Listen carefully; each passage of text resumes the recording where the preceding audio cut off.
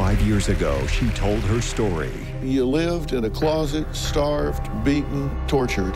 The girl in the closet, her life since then. In college, you were bullied. A football team made fun of me. They said I liked it when I got raped. Do you say if I was a better child, my parents would have loved me? Yes. I will spend the rest of my life disabusing you of that thought. All new Dr. Phil.